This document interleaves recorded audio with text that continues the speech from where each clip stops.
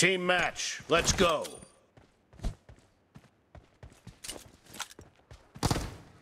The blue team has scored for the first time!